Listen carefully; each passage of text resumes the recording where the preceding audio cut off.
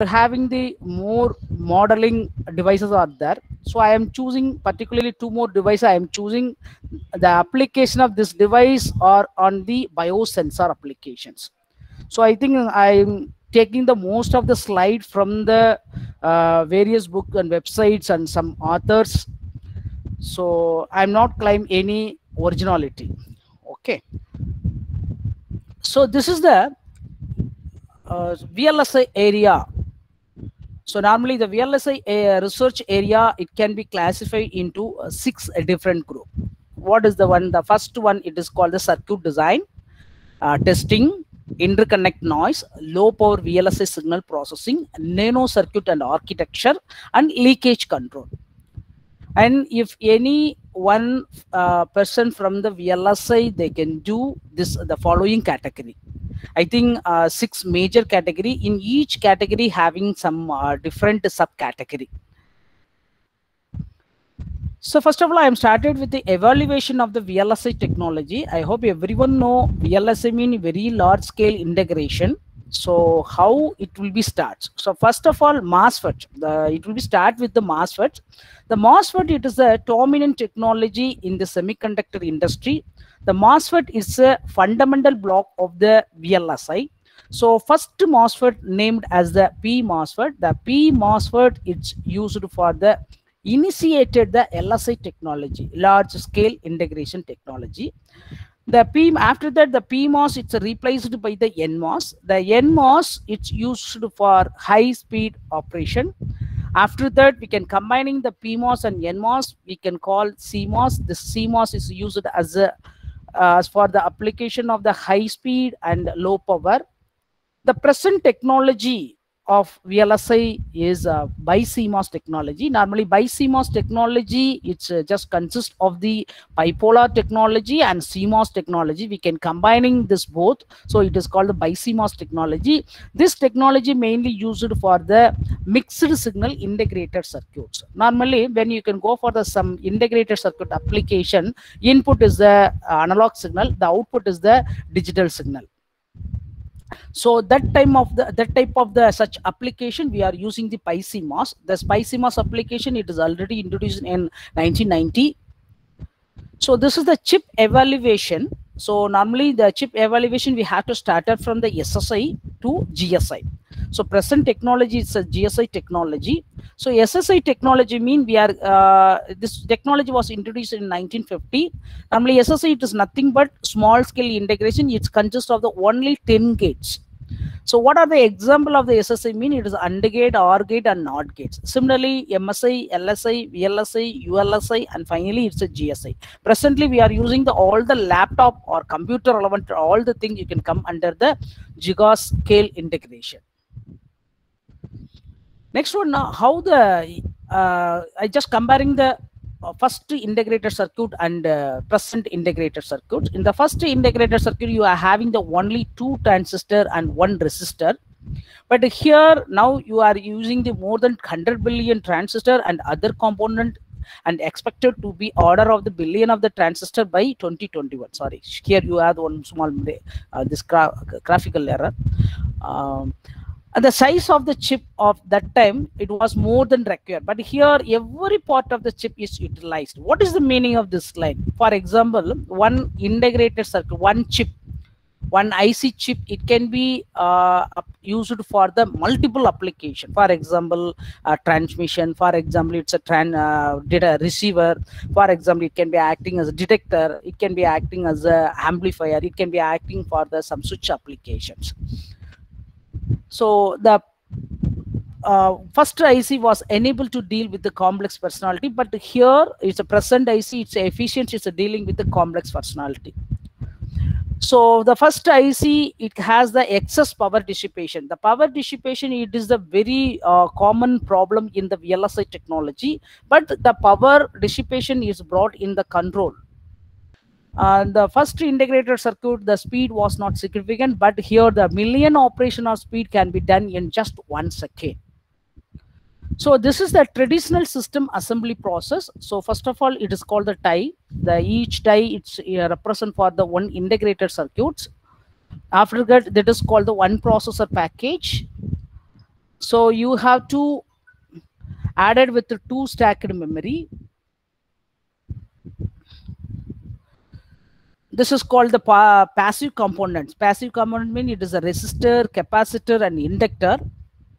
That component all are in, incorporated in the uh, mobile phones. After that this is called the connectors and batteries. Finally it is called the one apple cell phone. So this is the system assembly. So first of all we had to started with some evaluation of uh, the electronic devices. He is the braun he discovered the the rectification concept. His uh, very famous invention is the point contact semiconductor. He said that the crystals can conduct the current in only one direction under the certain condition in 19 uh, in 1874 so he is the name of the personality is the thomas alva edison. His very famous invention is the thermionic emission uh, he is a Marconi. Uh, he proved the feasibility of the radio communication after his invention. The radio telegraphy we call as the wireless telegraphy. He is the father of the vacuum tube, John Ambrose Fleming. I hope everyone uh, know that uh, uh, the name of this personality. I hope everyone it's a right hand rule of the Fleming and left hand rule of the Fleming. So he developed the first vacuum tube. Uh, he uh, developed the device. This device is mainly used for the amplifying purpose. Uh, the name of the personality is Thomson. Thomson discovered the electrons, isotopes, and invention of the mass spectrometer. He was awarded for Nobel Prize for the invention of the electron. He is the Lee de Forest. He he was the uh, father of the modern VLSI, uh, modern uh, vacuum tubes. The vacuum tubes is used for the amplifying purpose. You see here, this is called the structure of the uh, triode in the vacuum tubes. Normally in the Ambrose, uh, they uh, developed the one vacuum tube, you having the only two element. One element it is called the cathode, another one element it is called the anode. But uh, Lee Forest, he developed uh, the vacuum tube is uh, one you grid terminal is insert between the anode and cathode. So that is called the tri three terminal in vacuum tubes. That's main purpose of this vacuum tube is used for the amplifying the signals. Is Alexander Graham. He is the owner of the Bell Laboratory. Most of the electronic products uh, developed from the this Bell Laboratory. Now, the present the name of the Bell Laboratory it is AT&T American Telephone and Telegraph. He bought the DeForest triode pattern. He is a Lilienfeld. He is the person. He uh, filed the, the first patent for the transistor principle he proposed the first basic theory behind the MOS field effect transistor in 1928. In 1934, uh, he's Oscar Gale. He patented the field effect transistor. He is the Mervyn Kelly. He was the director director of research in the Bell Laboratory. He he understand that he uh, suggests he to provide the best phones, uh, phone uh, telephone service. It would need a better amplifier. The answer must be lie in the semiconductor.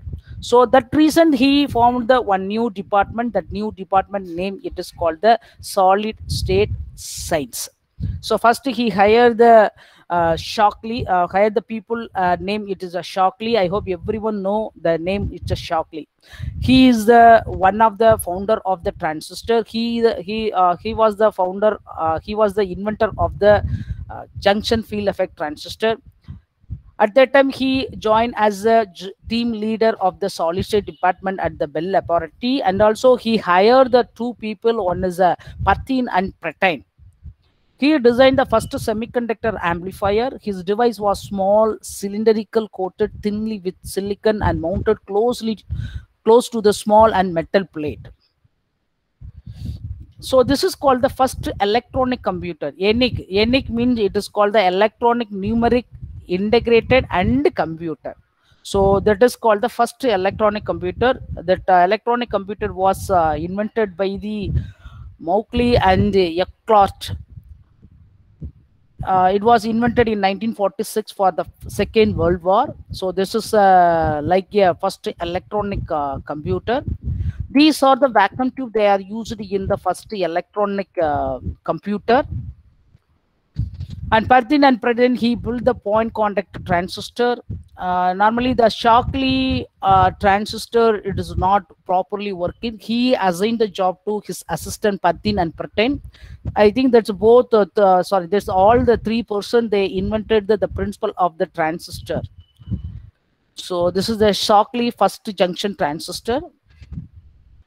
In 1948, uh, uh, the transistor the concept is uh, after getting the tra transistor concept john pierce he invented the name as transistor. He combined the trans resistance with the n common to the devices like varistor and thermistor that time that devices are very famous. So john pierce and uh, n with the, the device name it is called the transistor. It's a trans resistance between the low to high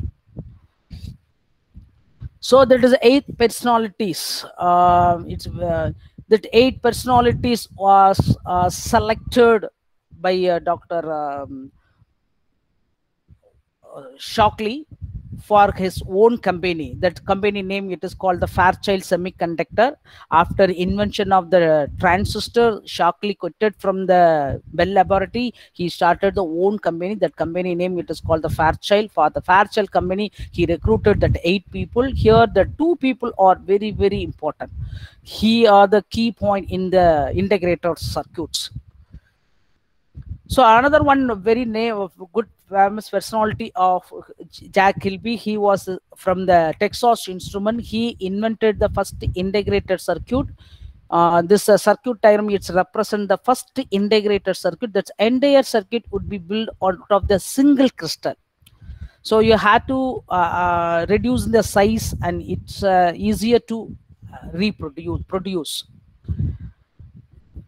uh, he is the name of the personality. He is uh, Martin John Atalla. Um, he from the uh, US people, and his assistant is uh, David Horn. This fourth person invented the, the first MOS transistor. So after the 30 years, I think 1920 years, Lilienfeld invented the basic uh, theory of the junction field of uh, MOSFETs in 1930, Oscar Gale is patented the uh, field effect transistor. The 30 years after 30 years, this two person he invented the the first uh, MOSFET transistor. So this is called the MOSFET. Normally, uh, we can go for the modern VLSI device. It is a very basic fundamental. What is uh, so first you know that MOSFET. So MOSFET mean it is a metal oxide semiconductor. Normally here it is a gate. It's made by the metal. Normally in initial day the gate it is made by the aluminium metal. But presented that is all the metal. It's replaced by polysilicon in the modern MOSFETs. Normally, there are the four uh, terminals, gate, source, drain, and bulk or substrate terminal. There are the, some electric field will be occur. What electric field, what does this electric field do? Is, is uh, this electric field are very, very important. I will explain the next slide. So after that, you having it is called the CMOS technology. CMOS, it is nothing but complementary metal oxide semiconductor. Is just having the PMOS and NMOS to form the circuit. So this is the circuit symbol for the NMOS. Actually, uh, MOSFET, it can be classified into the two types. One is called the depletion type MOSFET. Another one is called the enhancement type MOSFET. Depletion type MOSFET, it is uh, usually in the RF application, high frequency application.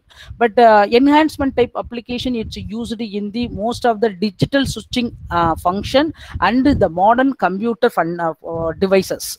So here, why it is called uh, what, what what it is called N MOSFET. N MOSFET mean it is called N channel MOSFET. So here you see here this is called the gate terminal. This is the drain terminal. This is called the source terminal. This gap it is called oxide layer. Here it is a channel. It's a break. What is the meaning of this? Mean there is physically there is a no channel in the enhancement MOSFETs. So what has happened? That is a break means. Uh, when you can give the input voltage at the gate terminal what has happened the channel is formed so enhancement type it is nothing but no channel at the zero gate voltage So here I will explain the electric field in the MOSFET. There are the two electric field. It's uh, uh, dish, uh, give the the field in the MOSFET structure. The first electric field it is called the transverse electric field. Another one it is called the lateral electric field. Normally this is called the structure of the MOSFETs. You see here, this is called the structure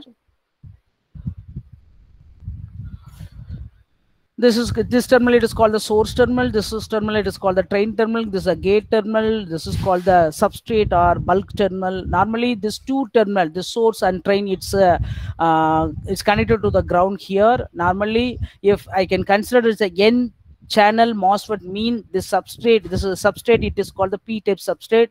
Here i can embed the source and drain it is made by the n type. So n channel mean there's a n n plus uh, source the n plus drain terminal here. After that that is called the oxide layer. The top of the oxide layer you i'm having it is called the gate terminal so the two terminal they are connected to the ground. The two terminal i am giving the voltage signal. So here the voltage you can uh, apply to the gate terminal. Here i am voltage applied to the drain terminal. Normally vgp mean it is the voltage i am applied between the gate terminal and bulk terminal. Here the vds is nothing but the voltage i am applying to the drain terminal and source terminal. So the transverse field is caused by the potential differences between the conducting gate and the substrate. This transverse electric field it supports supports for the creation of the channel. If you want to creation of the channel you can apply the voltages at the gate terminal. Okay after that this electric field also support for the depletion layer and the uh, inversion layer. The lateral electric field it arises due to the non-zero sources to the drain potential so the lateral electric field is used for the current flow in the MOSFETs. So this you see here, this is called the transverse electric field. When uh, transverse electric field occurs, mean when you can apply the voltage at the gate terminal. Here, when you can apply the voltage at the drain terminal, it is called the lateral electric field. Okay. So this is called the MOSFET structure in the depletion region. The depletion region, it is nothing but it is a junction. When it's a P and N, it will be joined wherever the p-type semiconductor and n-type semiconductor is joined that junction it is called the depletion layer junction here. Here you see this is called the cross section view of the MOSFET.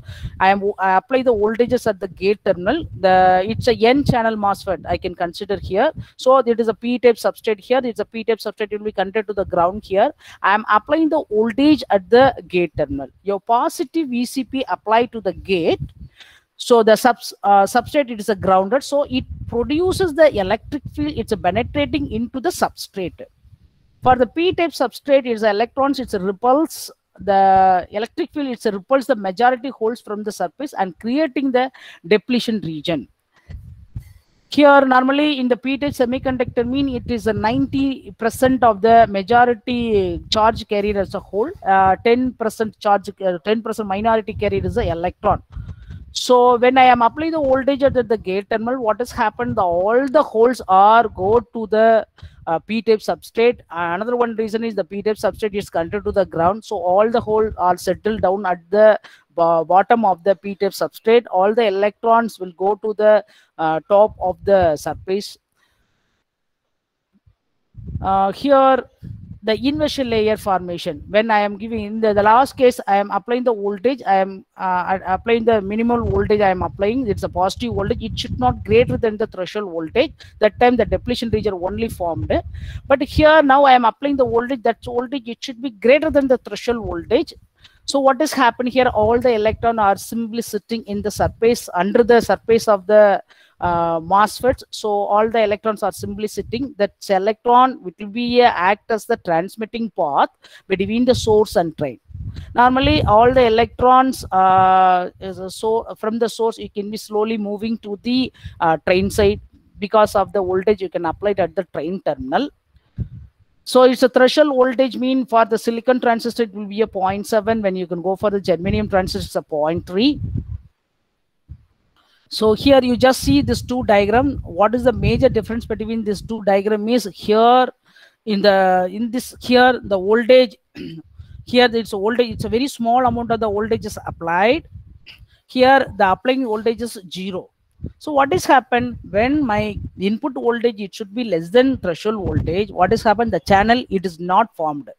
Channel, it is not created.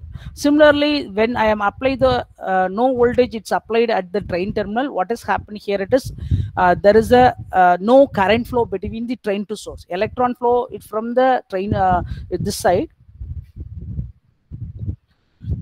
This one, one minute.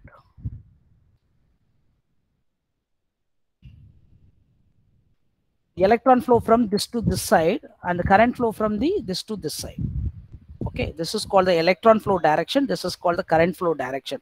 Electron flow it will be started from the source to drain current flow you can uh, current flow can be started from the drain to source here so what is that with the blue color? The blue color it's a represent for the depletion region. This is called the p-type. This is a p-type substrate. So it's a border between the p and n. It is called the depletion layer.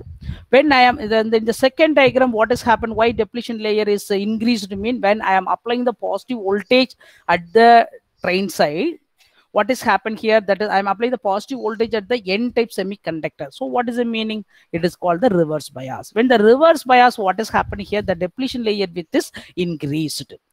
Okay. Uh, next one. Next one here i am applying the voltage it should be greater than the threshold voltage. So when I am applying the input voltage, should be greater than the 0.7, the channel is formed. You see here that is green colored mean it is the channel.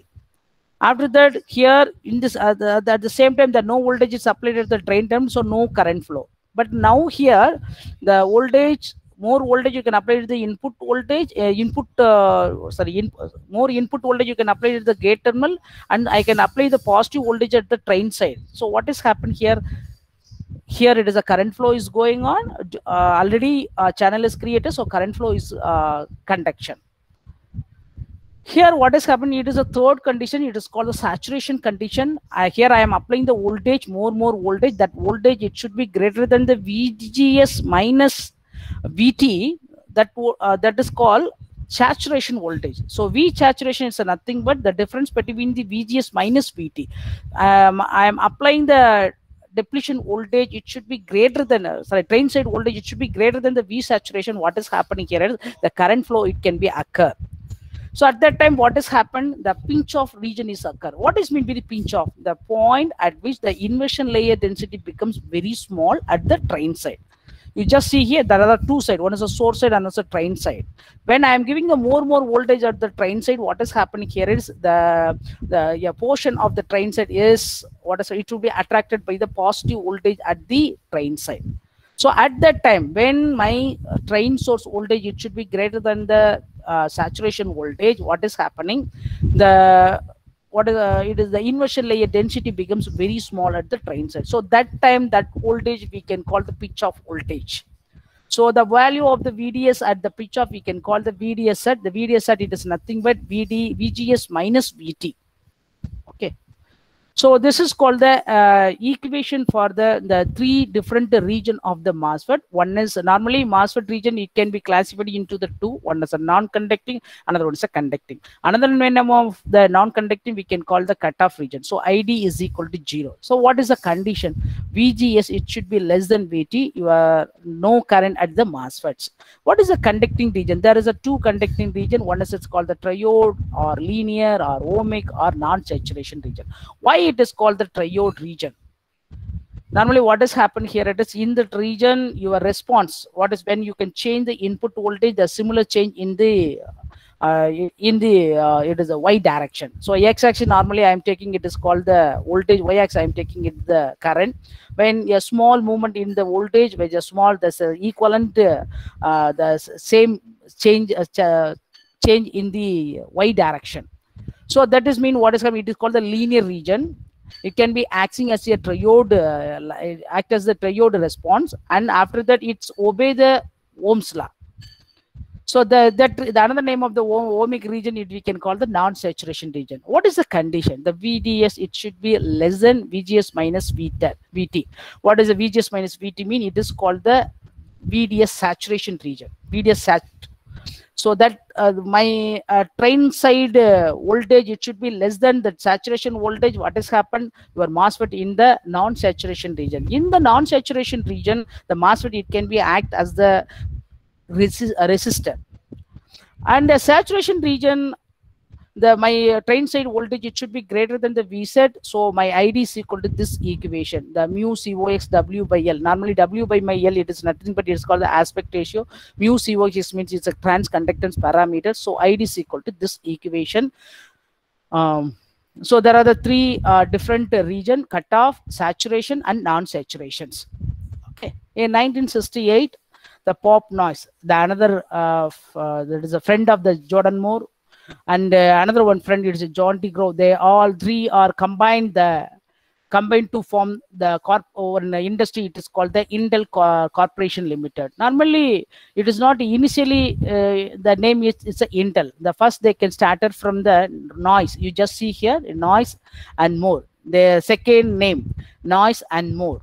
So Noyce Moore company limited so after uh, two weeks what has happened here? Everyone they pronounced name it is called the Moore Noyce. I think the company name it is called the Moore second name of the the two uh, the this personality Gordon Moore and Bob Noyce. So first name of this intel is Moore Noyce after two weeks what is happening everywhere? Everyone it is they pronounced the name it is called the Moore Noyce so it is uh, really uh, uh, difficult to pronounce it. So they can change the name. It is the first letter of the, the second name. It is n m electronics limited. That name was not popular so they once again they can change the name. It is called the integrated electronics. That name it is uh, the, after the named this uh, this company what has happened that the company product or everything is very uh, uh, what has happened very famous of that one. That name is very lengthy name integrated electronics. So they uh, both they desire to reduce the name. So that is the uh, short name of the integrated electronics. It is called the intel corporation they are only focused on the ram chips. So from the first intel company in uh, they developed the first microprocessor kit. It is the intel 4004 the intel 4004 is the first microprocessor uh, microprocessor kit from the uh, intel company. So these are the some evaluation of the solid state devices and transistors. Next i go to the moore's law is a Gordon, uh, Dr. Gordon Moore. He is the father of the VLSI. In 1965, he framed the one law is number of the transistors accommodated on the integrated chip would be double for every 18 months. You just see here, it is the number of the years is increasing. What has happened? The number of the transistors accommodated in the single integrated circuit would be double okay so according to the moore's law what has happened now when you can go for the any integrated circuits yeah more transistor are accommodated under single integrated circuits. So this is the device uh, modeling it's enabled the system transformation. You see here the left side it is called the this three uh, photograph they are mentioned that it's a first electronic computer ENIAC electronic numeric integrated and computer there's the size of this uh, first uh, ENIAC, it is like uh, maybe one uh, 20 cross 20 uh, room size uh, house. But now I am I am very handy. I am using the laptop. So this is called the device modeling uh, changes. So why we can go for the miniaturization? Why first reason is very small, size is very small it's the speed is very fast another one is the cost is very cheap. So that three reason we can go for the miniaturization. So now what is the basic principle it's behind of this one mean? It is the device downscaling. So when you can uh, decrease the string the uh, size of the w and l what has happened? Automatically the uh, device it's accommodated in the chip it will be uh, it will be increased so he is the name of the personality is the Dennard scaling. He uh, proposed the one theory. It is called the MOSFET scaling theory in 1974. You just see here, I think it will be explained how the downscaling of the MOSFET devices. So normally scaling is to string the dimension, maintain the aspect ratio. It must string the electrostatic features as well uh, as well. So in 1980, uh, it is the, the MOSFET gate length, it's a 10 micrometer. After the 1985, you are having it is called the 5 micrometer. It's 1988, I am having uh, 2.5 micrometer gate length MOSFETs, 91 1.3, 99 to my 0.25 micrometer. In 2020, I am having it is called the 10 nanometer. So why normally we can prefer the smaller MOSFET? Well, first one, you have to allow the more current to pass. Another one is if you have the smaller gate capacitance means you are getting, it is the high speed uh, uh, high speed integrated circuits. The third reason you can go for the reduce the cost. So a smaller integration chips, it's allow the more chips per wafer. It's reducing the price for the chip. So mass MOSFET scaling normally it will be divided into the two section. Uh, one is it is called the horizontal scaling, another one is called the vertical scaling. How your MOSFET scaling down? So you just see the circuit diagram. Here it is called the x-axis. This is called the y-axis. Normally in x-axis mean you can reduce the channel length. In y-axis mean you have to reduce the thickness of the the oxide layer when you have to reduce the uh, yes, horizontal scaling means you have to reduce the scaling length. When you have to reduce the scaling length mean it is called the short channel effect will be occur. Okay when you have how will you overcome the uh, short channel effect? Mean we can go for the some novel uh, different uh, structures. We can go for the high modern vlsi device. It can be used to, to reduce this short channel effect. Another one it is called the high k material the high K material uh, material uh, it was introduced. Why we have to introduce the high K material? You have to reduce the oxide thickness and also reduce the uh, the short channel effects. So what is mean by the short channel effect? It is we are simply called the SCE as the gate length is reduced the characteristics of the MOSFET it can change. It's due to the short channel effect. Normally we are having the five very famous uh, short channel effect. One is the drain induced barrier lowering, surface scattering, velocity saturation, impact ionization, and hot electrons. You just see here, this is called the existing MOSFET. So this one, it is called a short channeled MOSFET. What has happened here? There's the electric field. What has happened? This is called the electric field path here. You just see here. Here is a source, here is a drain terminal but now we have to reduce the lane gate length of this one that time we can having the short channel effect we have to, the short channel effect it is the disadvantages of the the down uh, scaling effect so when you can go for the uh, down scaling we have to face this short channel effect so we want to reduce the short channel effect we can go for the modern vlsi devices normally this is called the the classification of the MOSFET. So first one, it is called the single gate MOSFETs. So this is called the bulk MOSFETs.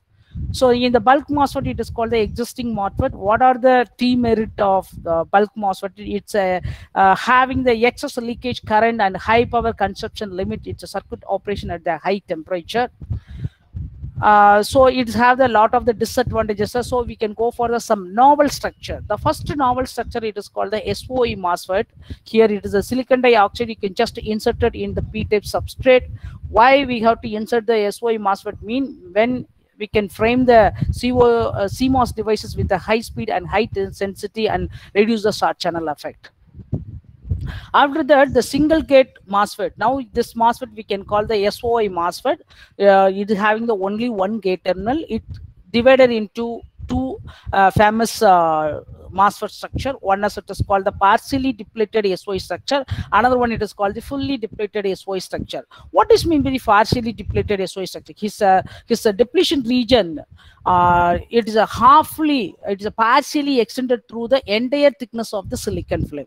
In the fully depleted SOI mean, with here the depletion region is extended through the entire thickness of the silicon film. The partially depleted SOI uh, MOSFET have some advantages. One is a free from the kink effect and enhanced subthreshold swing, reduce the power requirement and highest gain in the circuit. In partially uh, depleted SOI means when depletion region it's uh, extended through the uh, extended uh, entire thickness of the silicon film. Uh, now we are using the, the fully depleted SOI structure.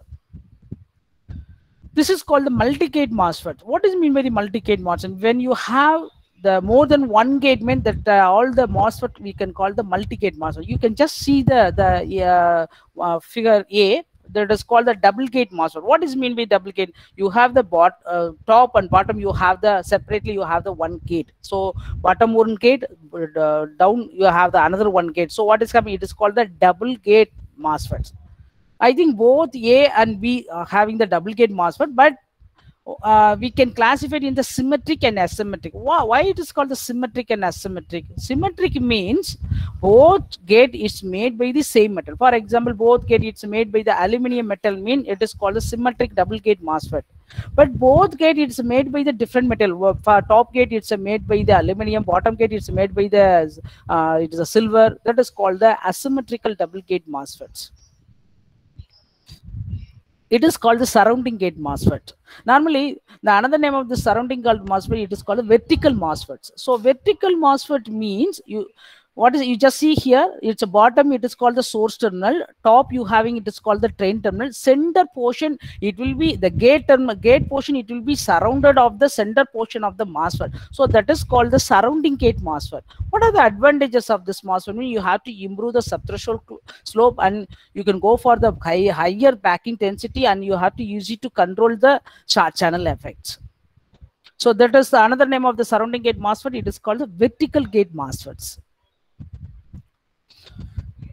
next one is it is called the dual material gate MOSFET. This is also another one uh, new structure here. Uh, what has happened is a normal existing MOSFET, but gate it's composed by the two different metal. It is a M1. The first half is made by the one metal. The second half it's made by the another one metal. Normally, you when you can consider the gate length of the MOSFET, it is called the 100 nanometer. Mean first 50 nanometer it's uh, made by the that uh, that gate metal. It's made by the one metal. The second half it's uh, made by the another one metal. So it is called the dual material gate MOSFET. So gate is composed by the dual metal. Uh, after that, uh, uh, triple material gate, quad material gate also came came for the some literature on the VLSI device modeling. So this is called the dual material gate MOSFETs. Next one is called the dual material surrounding gate MOSFET. I think Dr. Uh, uh, MJ Kumar, M.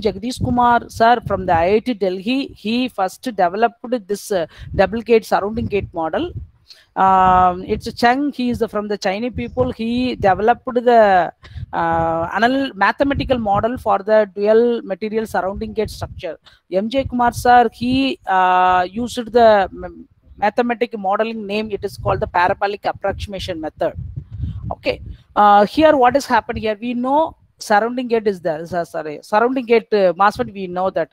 Actually what is mean by surrounding gate? Bottom it is a source top you having it is called the drain terminal. Center portion it will be covered by the gate. But the, the gate is composed by the two metal mean. It is called the dual material surrounding gate MOSFET structure so why we can go for this structure mean when you want the higher driving current, when you want the improved subthreshold slope, when you want the enhancement of the average carrier velocity in the channel, you can go for the dual material surrounding gate structure. Next one, it is called the channel field effect transistor. Here, just see it's an ordinary uh, existing MOSFET, but what has happened, the drain and source, opposite, it's made by the opposite uh, type of the semiconductor. One is made by the drain, another one is made by the, uh, uh sorry, drain terminal is made by the N-type, source is made by the P-type material. So it is called the tunnel field effect transistor. Here, one mechanism it will be involved that is called the uh, tunnel mechan BTBT mechanism. I will explain the later. This is also another one very important alternative structure of the VLSI. This is called the silicon nanowire transistor. Here, the channel, it should be like a nanowire. It's made by the silicon. So it's called the silicon nanowire transistor. After that, the high electron mobility transistor, most uh, presently the very hot area in the high electron mobility transistor. Uh, I got the two project from uh, for this devices high electron mobility transistor. uh, here it's recently it's used for the high speed application. This is the very uh, hot topic in the VLSI device modeling. This device it's especially uh, developed for the high speed application. It's mainly used for the low noise small signal amplifier power amplifier oscillator and mixer operated at the frequency up to the 60 gigahertz only one disadvantage is a fabrication process it's a more complexity and uh, off off current it should be very high so SOI MOSFET, it can be modeled into the device modeling, quantum modeling, capacity modeling, RF and circuit modeling, and noise modeling. In noise modeling, you, have, you can go for the low frequency analysis and high frequency analysis. When you can go for the RF and circuit modeling, it's based on the uh, type of the equivalent circuit, it's model the capacity model you can you you are going to discuss about the gate capacitance channel capacitance and coupling capacitance and fringing capacitance also. When it's a quantum modeling mean when your gate length it should be less than 10 mic uh, 10 nanometer mean we are entering in the quantum modeling. In the quantum modeling we have to discuss about the energy quantization and ballistics effect and the cat tunneling effect which tool I can use for this uh, simulating the VLSI device modeling that is called the TCAD simulation software. I think there are the two VLSI company. One is the Synopsys and another is the Silvaco. The Synopsys it's offer the 2D uh, simulation software. It is called the Medici. Another one is called the Sentaurus devices. I think Medici software it's a uh, 2D device simulation software. The Sentaurus device mean it is a 2D and 3D uh, simulation software. I think Silvaco it is offers the one simulation tool. It is called the Atlas. So presently, I have we uh, our Thiagarajar College of Engineering is having the Sentaurus device software, device TCAD simulation software. So what is mean by the uh, Medici and Sentaurus software? That is Medici is just to predict the electrical characteristics of the any two-dimensional structure under the any operating specified conditions what para what input i am given to the this uh, Medici software? I am giving only the device structure. What is the length of the source? What is the length of the gate? What is the length of the uh, drain terminal? What is the size of the uh, oxide layer? What is the length of the oxide? Uh, sorry it's a gate. That input i am given to the input. Another one some voltage. How much voltage you can apply for the gate and drain that is only we are giving the input parameter for the Medici. What are the output parameter? When you can give the, this input parameter, this Medici software, it's simulated the one uh, simulated MOSFET. So from the uh, simulated MOSFET, I am getting it is called the IV characteristics or CV characteristics or some other uh, maybe uh, subthreshold, subthreshold, some other frequency response characteristic. Whatever you can, you will get it from the Medici software. So why we can go for the modeling? Every device having some equation. The operation of the device, it can be written in the equation. When you know the equation, you can go for the model. So device modeling, it is nothing but it creates the model for the behavior of the electrical devices. It's based on the fundamental device. So normally the solid state device model, it can be divided into the two. One is the equivalent circuit model. Another one is called the physical device model. Equivalent circuit model, it's based on the electrical performance of the device. It's suitable for the circuit device design application. It is only limited the range of the application. It is not suitable for the predicting performance of the novel device structure. But in a physical device model, it's based on the physics of the carrier transports like DC, transient, large signal, high frequency operation. It may be a, it may uh, have the detailed physical model. It's require the substantial amount of the computer time and memory. It's suitable for the predicting the performance of the novel device structures. So how we develop the model? I think this slide is very, very important slide. So when you want to go for the model of any device, first of all, you know good knowledge of the device physics. What are the five semiconductor equation? Why do we can consider the minority equations? What is the understanding of the device operation? The third one, you can make the suitable assumption and approximation so that is a very very important of the uh, developing the model after that you can apply the proper boundary condition you have to solve the equations you have to solve the some model uh, uh first you can identify the some model parameter. After that that model parameter you can extract it from the the uh, simulation uh, devices. So extraction of the model parameter always should be it will be small. Uh, finally your analysis it is called the analytical model analysis. That analysis it's compared with the simulation uh, simulation analysis okay so in any paper where, wherever you can uh, go for the any uh, vlsi device modeling paper all the paper the analytical model results is compared with the simulation results as well as sometimes it will be compared with the uh, fabrication results fab results so now I go for the FET based biosensor. Normally, what does it mean by the biosensor? The biosensor, it is nothing but it's a device. It can measure some biological parameter uh, turning into the form which can be processed by the electrons.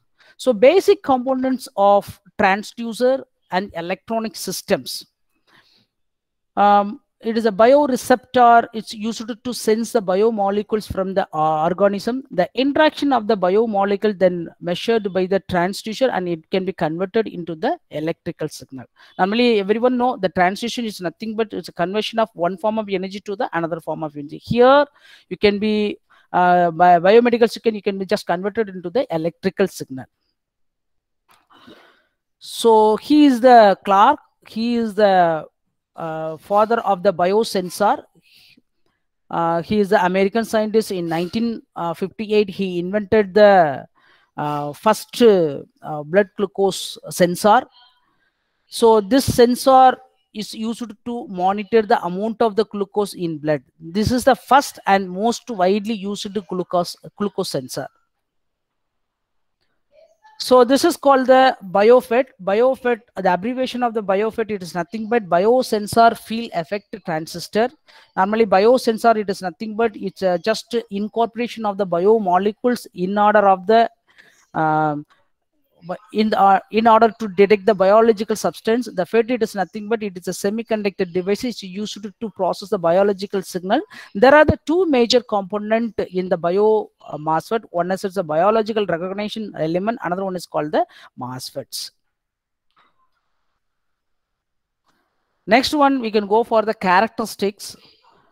Characteristics of the MOSFET here. You just see here this is called uh, one uh, symbol uh, MOSFET here. Here it is a gate terminal. It's uh, just replaced by the, this portion.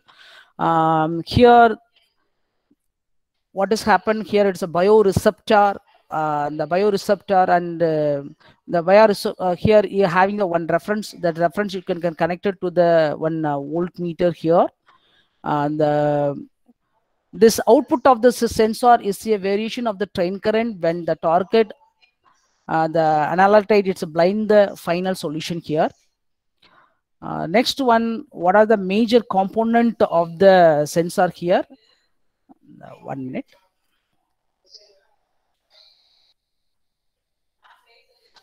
So these are the three major component used in the biosensor the first one it is called the it is called the bioreceptor the bioreceptor are a different type based on the biomolecule.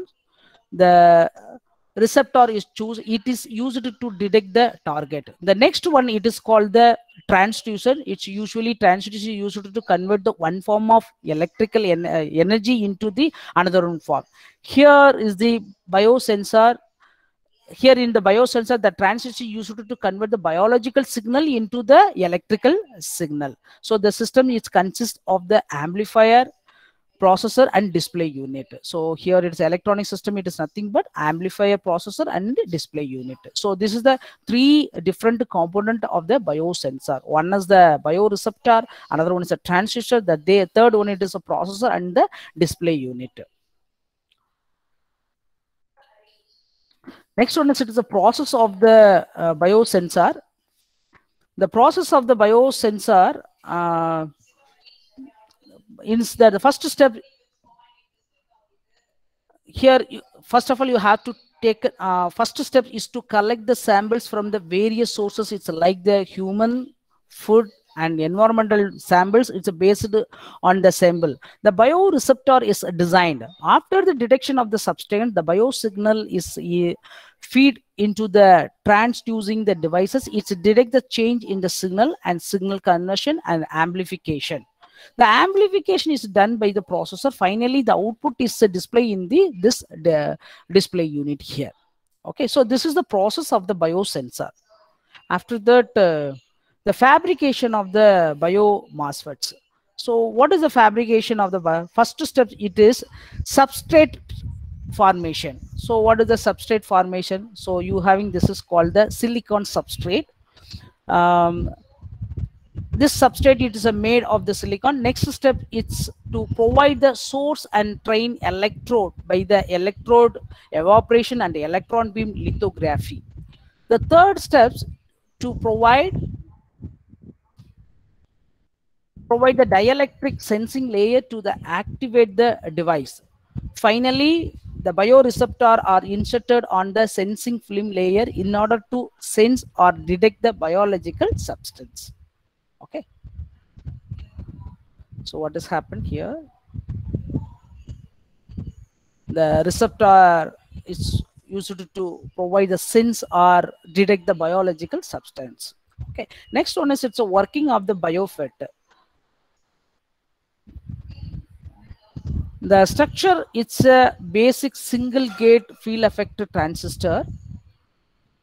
And this this is the one of the transfer characteristics curve for the device shown here. When we apply the sufficient gate voltage gate bias sufficient gate bias the channel is formed between the source and drain the electron starts flow from the source to drain for the make of the device as the biosensor the gate region is etched in order to provide the gap to insert the biomolecule due to the etching. The device needs a more gate bias to form the channel. This change is shown in the drain current uh, curve.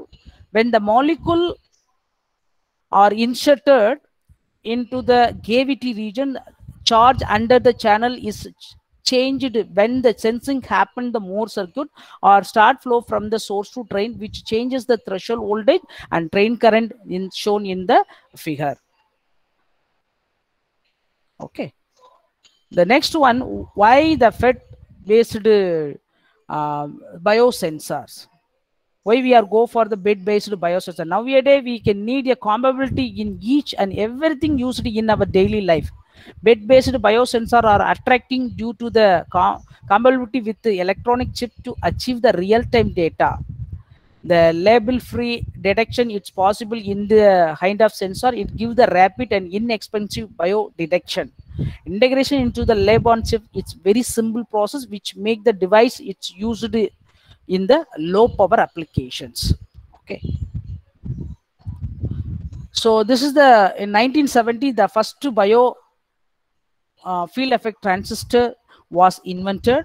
The first bio field effect transistor was ion sensitive field effect transistor. It was invented by Biot for the electrochemical uh, and biological application in 1970. Okay. Uh, next one uh, is uh,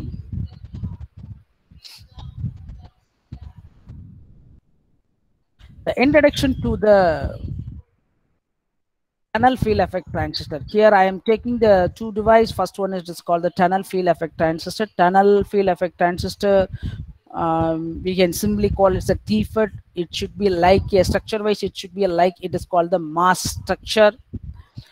So the current in the conventional device is based on the thermionic emission of the carrier over a potential barrier. As a result, the keeping the power consumption within the acceptable limit is one of the biggest challenges for the conventional MOSFET at advanced technology nodes.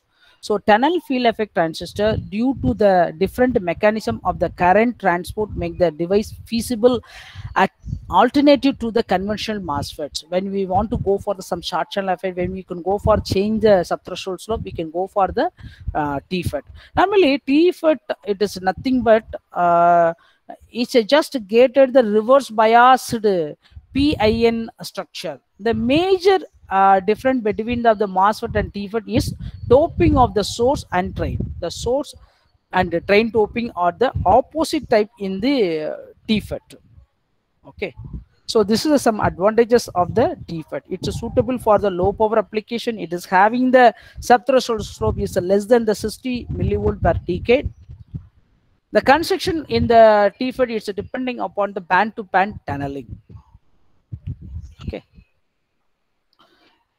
Next one, the first tunnel field effect transistor was reported in the year of 1965. Um, in 2004 they reported they had created a tunnel transistor with a carbon nanotube channel and subthreshold just for the 40 millivolt per decade. When you want to reduce the subthreshold slope you can go for the TFETs okay? And the next one is the structure of the uh, TFET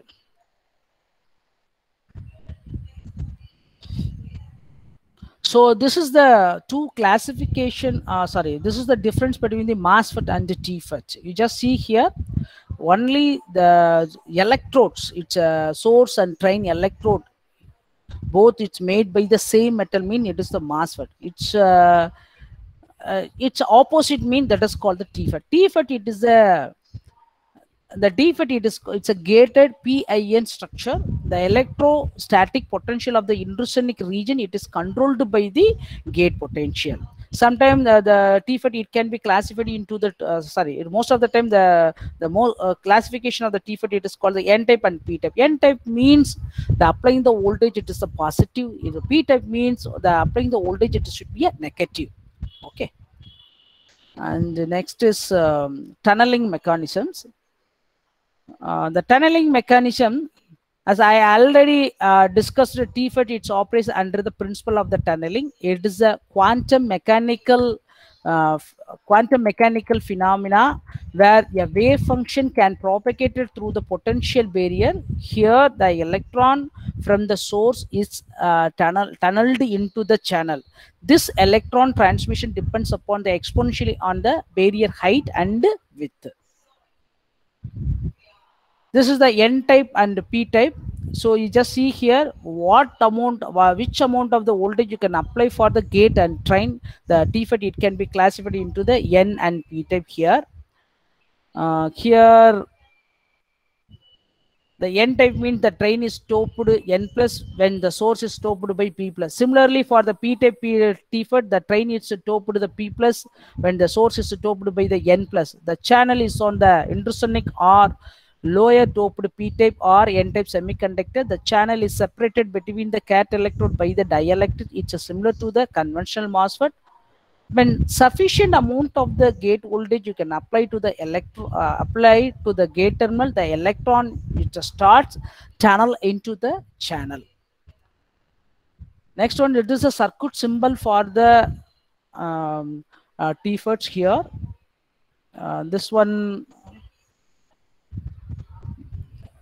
this one the for the first one it is called the NFET another one is called the PFET this is a circuit symbol for the N and P type uh, TFET here it's a G means a train S means it's a source T means it's a drain terminal here. Okay. The next one is it's a device operations so the device operation in this figure the N type TFET is shown the source is ground here it's a grounded. The positive voltage you can apply to the drain the gate electrode uh, sorry the uh, positive voltage you can apply to the drain and the gate electrode. The gate gets turned on.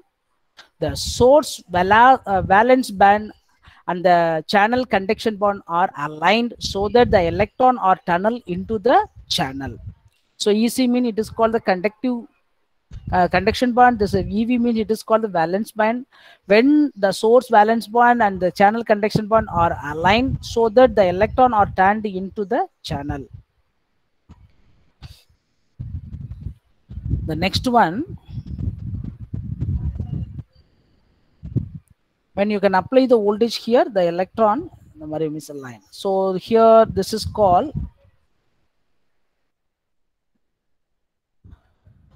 the graph is shown that the drain current variation of the small gate voltage so barrier is very high and probability of the electron tunnel into the channel is very low. So the drain current is uh, very small. So when the gate voltages increases, the tunneling probability it is also increases. The drain current is also starts to, starts to increase. The drain is the maximum of the high gate voltage. More more number of the electron are tunneling through the barrier. So next I can go for the modeling of the tunnel field effect transistor, multi-gate modeling of the transistor. Uh, here um, this is my students my PhD scholar uh, project. Mm. This is a tunnel field effect transistor. It's a PIN structure. In a tunnel field effect transistor, the doping of the drain and the source, it's a different. It works under the principle of the tunneling. The tunneling, it is nothing but when the sufficient gate bias is applied, the balance of valence band of the uh, valence band of the source and conduction part of the channel is aligned together so the electron are moved from the source to drain here i am checking the device name. It is called the triple material double gate TFET. Here i am using the uh, methodology name. It is called the finite differentiation method normally a lot of method will be available. One is the green function parabolic approximation fourier series and uh, uh, Monte Carlo simulation finite differentiation method fourier series method. But here i am checking my scholar is uh, took the method uh, methodology name it is called the finite differentiation method. In this uh, uh, in this in in her paper he derived the following parameter. One is the surface potential electric field threshold voltage drain current. Finally, he uh, compared with analytical results with the simulation results. Simulation results mean it is called the TCAD results. Okay. You see here. Uh, normally what are the methodology? The methodology also very important role it's play in the research work. Normally the modeling approach it will be classified into the one is the numerical solution another one is called the analytical solution.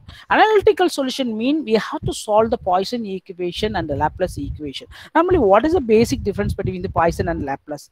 Poisson equation means what has happened here it is when you can consider the one portion that portion say inside that portion you have the charge when you can considering the charge on that particular portion mean we we can go for the Poisson equation when you can consider the one particular region that region is the no charge mean we can refer the Laplace equation when you have to solve the Poisson equation there are the four five method are available. Superposition method Fourier series expansion green function parabolic approximation finite differentiation method. But here uh, we are uh, we uh, took the um, finite differentiation method. What is meant by the finite differentiation method? Why I am choosing this a finite differentiation method? It is the oldest and simple method to solve the differential equation. Uh, it can be uh, it can handle the model uh, bodies and composed by the several materials and easy to analyze the irregular shaped bodies. Compared with the parabolic approximation it can be handled the unlimited number of the boundary condition. It is require minimum number of the equation compared to the other model. In a parabolic approximation mean you need the more equation. So i can choose this one. This is called the triple material double gate TFET so you just see here this is called gate terminal. Top you have the one gate bottom you have the one gate. The top gate it will be composed by the three different material material one material two and material three. You just see here this is called the tabulation. Material one it is called the au material two for the cu the third one it is the sn so the i am using the different work function of the material. The first metal uh, its work function it is called the 4.9 electron volt. The second uh, gate work function of the second region it is a 4.7 electron volt. The third metal gate work function is the 4.5 electron volt. It should be like a descending order for the uh, good conduction we we we are consider it is called the descending order. The first one is a 4.9 second one is a 4.7 third one is called the 4.5 electron volt. What is mean by the gate work function? That amount of voltage you can given that electron it can be moved to the valence band to the conduction band. Here i am checking channel length it is called the 20 nanometer. Similarly oxide thickness. Oxide thickness mean here it will be uh, that one that portion it is called this one it's called the uh, 2 nanometer Another one is a drain doping, it is uh, 1 into 10 to the power 16 and source doping it is 1 into 10 to the power 18. So that is called the triple material double gate tunnel FET. Triple material means gate is composed by the three different material uh, if you can consider the 150 nanometer mean the first 50 made by the one metal second 50 made by the another metal third metal uh, third uh, the remaining region it will be considered the third metal. I mean top you have one gate bottom you have the another one gate that is called the triple material double gate. But source and drain it is opposite doping mean that is called the drain uh, triple material double gate tunnel FETs so this is called the this one it is called the methodology is uh, design methodology. How we can solve the methodology? First of all i am taking the 2d poisson equation. After that this 2d poisson equation is solved by the finite differentiation method. How you can solve the finite differentiation method? First of all when you can see this this is called the area. This you have to describe uh, describe the domain x-axis and y-axis after that you have to substitute the boundary value at the discrete point. After that you can replacing the derivative by the uh, uh, finite differences. So this is the uh, total uh, concept of the finite differentiation method. After the finite differentiation method solve, solved you can go for the surface potential analysis after that, it's an electric field analysis. Finally, you can compare the analytical results with the simulation results. So this is the one good flow chart of the design uh, flow chart of the my, my proposed work. Okay. So here it is called the boundary condition. Boundary condition, it's very, very important in the um, it is VLSI device modeling.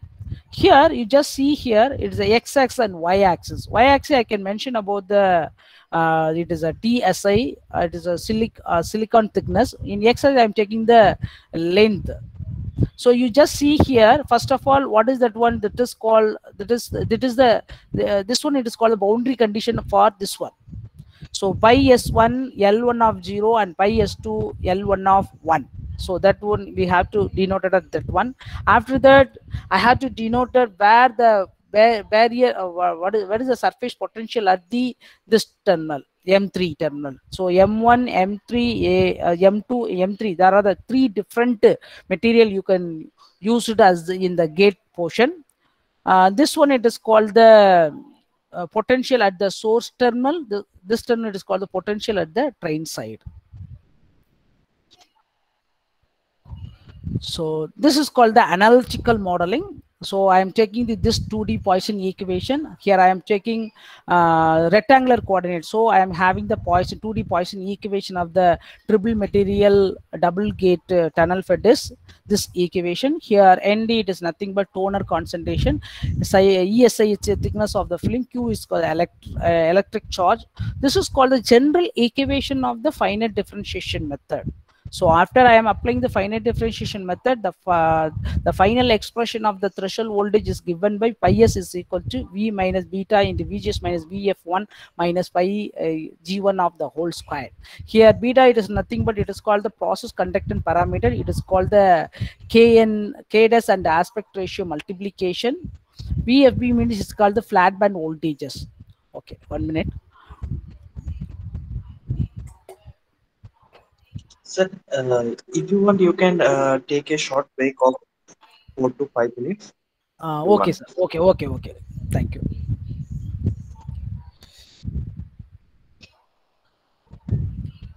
Only five minutes, huh? Okay. Oh, okay, okay. Uh, so participants, uh, so we are currently taking short break of four minutes. So in the meantime, you can uh, do your uh, if you want to ask any question regarding this uh, session? Then you can comment chat box. And end of the session we'll take these questions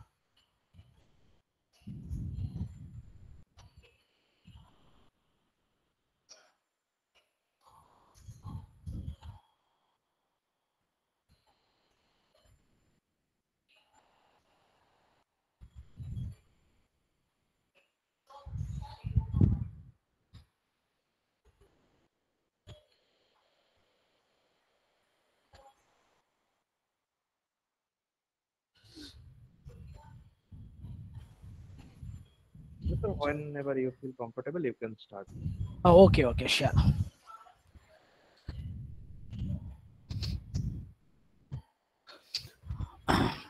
So this is the analytical model uh, calculation. So first we have to start with the 2D Poisson equation.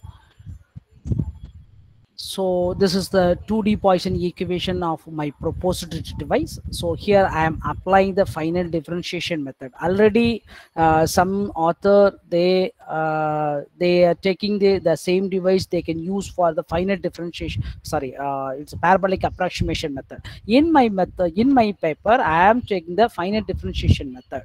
So final, finally I have to calculate the surface potential and the electric field and threshold voltage.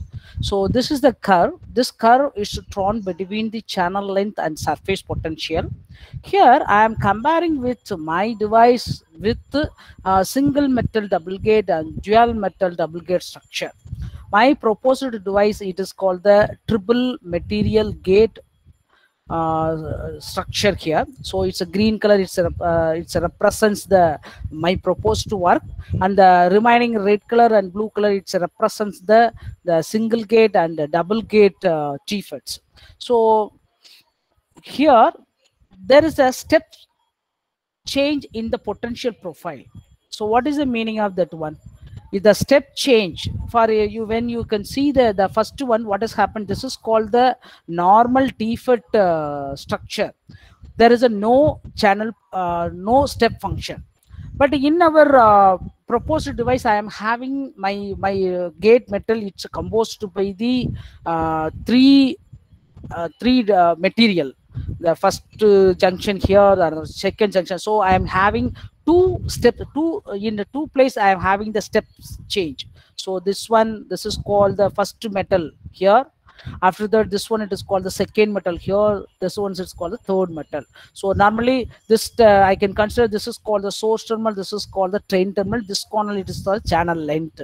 Here i can consider the channel length it is a 20 nanometer so uh, what i am interested that here the short channel effect like it is called the drain induced barrier lowering effect is reduced. Okay and the next one it is called the L1 L2 ratio dependency. Actually, I already mentioned that uh, the gate is composed by the three metal, each metal having some length. For example, when I can consider the 100 nanometer mean, uh, so 90 nanometer mean, for the better understanding, I am taking it is called the 190 nanometer. So first 30, I am having the one metal. Second 30, I am having the one metal. Third 30, I am having the one metal. So that is called the one is to one is to one. When you can consider the one, two, three means it's uh, the third material, the last material size. It is um, triple times of the, the first one. For example, how will you can say that uh, uh, 10 oh, what is happening the first one i can for example i am considering it is called the um, uh, 20 for example i can consider it's a 20 means the first four it's made by the one metal after that it is called the 4 to uh, 4 to 10 the, uh, it's a 4 6 after that it's a 10 to 20 it is the length. The length of the each gate. Normally gate is composed by the three metal. Length of the first metal length of the second metal length of the third metal. I can change that ratio. So 1 is to 1 is to 1 or 1 is to 2 is to 3 or 3 is to 2 is to 1 better like, uh, better choice it is a 3 is to 2 is to 1 that time i'm having the having the good responsible curve between the surface potential and the channel length. Next one it is called the electrical field distribution. So what is mean by electric field distribution? Here in the two curve i am taking uh, the first curve i am taking the comparison of the three uh, three different devices. In the second curve i am taking the the three different ratio of the scale. So the first curve the peak electric field is obtained at the interface of the material for the triple material surrounding gate. We obtain the two electric field peak at the interface so which provide the average electric field along the channel. The next one sorry the next one the electric field for the various ratio various length ratio the peak electric field is high at the uh, drain side here it is called the drain ah, sorry it is called the drain side this one it is called drain side at the which means it is called the movement of the charge carrier is high at the source which gives a good carrier transport efficiency.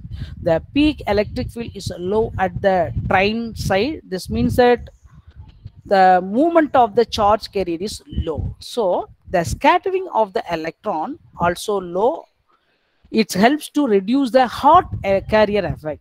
I, I already mentioned that the hot carrier effect it is one of the short channel effect. That effect it is also reduced uh, in the electric field distribution curve. So this is the uh, curve is drawn between the drain voltage and threshold voltage. From this equation, here you see this is the equation for the threshold voltage. The threshold voltage becomes inversely proportional to the gate dielectric EOX. So increase the EOX, it's give the reduce the threshold voltage. When I am increasing the uh, EOX means what is happening here? It is a threshold voltage is uh, reduced. So for the triple material surrounding gate structure, we can obtain we can obtain uh, the 0.3 voltage and the SIOX is equal to 25 nanometers. So the reduction in the threshold voltage, it's, re it's really helps to reduce the sub threshold swing of the devices and makes the device it's operated at the low power. So when I am increasing the EOX, what has happened? The threshold voltage is reduced. The next one, uh, this curve is uh, drawn between the gate voltages with the drain current for the various source doping. So from the curve, the doping becomes uh, directly proportional to the drain current. The doping of the source is increased. The movement of the charge carrier also increases and the field at the source side, it is also increased. The field increases the tunneling current. So the high doping profile gives the higher on the current so that it's a threshold voltage is expected to reduce the helps to reduce the sub threshold swing sub threshold slope okay uh, next one um, the next one uh, here i am taking the gate voltages with the drain current for the different devices So here my analytical model, it's a compared with the simulation model. Okay. So here the the the volume of the volume of the silicon of the tunneling is increases. The tunneling increases the movement of the sorry uh, this one is uh, yeah this one is here the drain of the triple material double gate is compared with dual material double gate TFETs for the triple material double gate structure there is a shift in the gate to the source voltage as you can see in the figure. Here you just see here. The reduction of the one minute. The reduction of the gate voltage it can helps to reduce the threshold voltage and the subthreshold slope here. Uh, from the i just comparing with my proposed device and the uh, double gate uh, dual metal double gate TFET structure. In my proposed device, the threshold voltage it should be a 0.3 and drain current it should be 3 into 10 to the power minus 3. Uh, that is called the 3 milliamps. So next one is it is uh, I'm taking it is the 2D analytical model and simulation of a different configuration of the double gate MOSFET for the biosensing application. Here I am taking the three different configuration.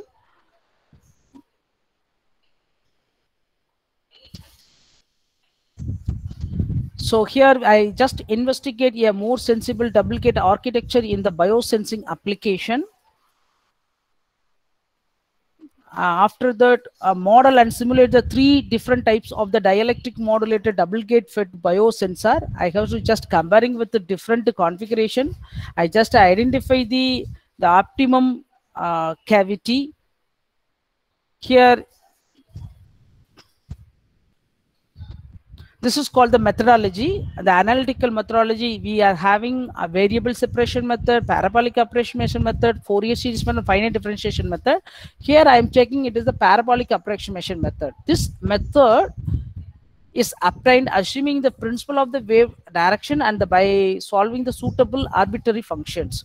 So what is the design flow so first of all, I have started with the 2D uh, Poisson equation and I had to calculate the arbitrary function by using the boundary condition. So I have to calculate the value of the A, I, I1 of x and A, I2 of x. These are the constant value. So from the boundary condition, I am I have to calculate the two value. After that, I calculate the uh, surface potential, threshold voltage and sensitivity. Sensitivity. So here this is called the double gate MOSFETs. You just see here how it's called the double gate MOSFET mean top and bottom you are having the separately two gates. For top gate it is called the front gate, bottom you can call the back gate here it's called the double gate MOSFET here. Here it's a first I'm here I'm taking the first configuration. What is the first configuration? Here I am taking nano cavity. Here, the nano cavity, it's act as a sensing site for the biosensors applications. You just see here, the nano cavity, I can just embedded near the source side of the double gate MOSFET structure. So this is the my first configuration. Okay. The second one, this is called the second configuration. As usual, I'm taking it is called the double gate MOSFET structure. Here, um, the nano cavity is embedded near the drain side of the double uh, uh, double gate MOSFET structure. This is the second configuration. The third one, the uh, nano cavity is embedded near the source side and the drain side of the double gate MOSFET structure. So this is the third configuration. So nano cavity is formed with the length of the 25 nanometer near the source and 25 nanometer near the drain side. So here I'm uh, bo implemented both source and drain. This one is uh, you see here. Uh,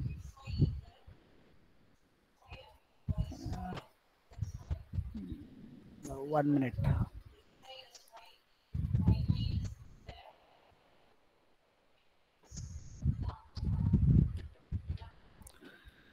Here, the sensitivity is a good compared to the other structure. When the molecule are inserted in the sensing side, it changes the dielectric constant of the nano cavity region.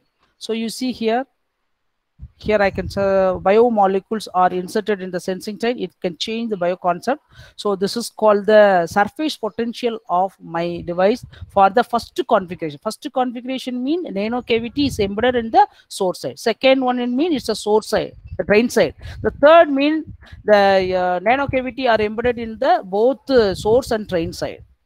So this is called the surface potential curve of uh, my proposed devices here uh, you see here this is the gate dielectric alteration She's, this dielectric concentration is to dominate in the third configuration here you just see here the first one it will be represented by the blue color the red color it represents uh, second configuration and the green color is represent for the third configurations.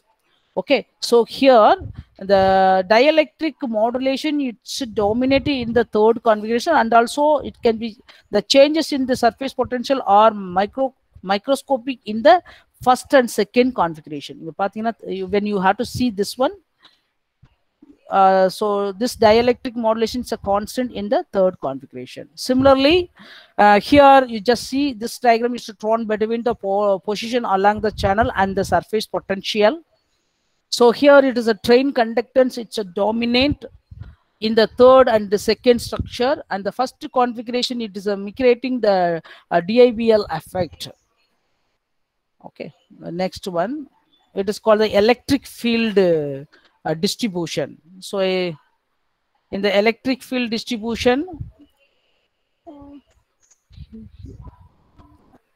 uh, here you just see here here also i am taking uh, the first configuration and second configuration third configuration and combined with my analytical model with dual metal double gate uh, TCAD simulation software. So here that red color we have to represent for either the simulation software here tmtg here so the peak electric field it's reduced by the 20 percentage approximately in the third configuration. Third configuration means I embedded the nano cavity in the both source and drain side.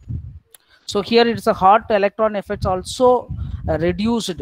Hot electron effects it is one of the very uh, important effects in the short channel effects. So in this diagram, you are having the the size of the cavity. One is the smaller cavity another one is called the larger cavity. So what has happened here it is uh, the larger cavity it gives the minimum threshold voltage it's a compared with the smaller cavity. So what has happened here it is here one minute in the first figure, the nano cavity length is kept small. Here I am taking the smaller cavity. So the assumption is assuming that the only the small amount of the biocoils it's uh, placed in the nano cavity region. In the figure two, the nano cavity length is kept larger. This assumption is indirectly assuming that a large amount of the biomolecules is placed in the nano cavity region. Because of the higher influence of the biomolecules, the threshold voltage of the all three configuration are affected by the little bit higher after the certain dielectric constant value. So before molecule Im um, immobilization, the cavity is assumed to be filled with air. The different dielectric constant of the nano cavity region are varied from the 2 to 11 nanometer in order to realize the presence of the neutral biomolecules. So next one the one minute. Oh, yeah.